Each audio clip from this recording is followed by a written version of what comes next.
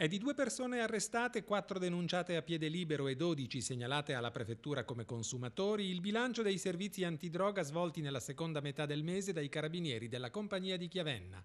Un ventenne di Morbegno è stato arrestato dai militari della stazione di Delebio dopo che, fermato per un controllo a Piantedo, è stato trovato in possesso di circa 34 grammi di stupefacenti, in prevalenza marijuana, un bilancino di precisione e 325 euro in contanti.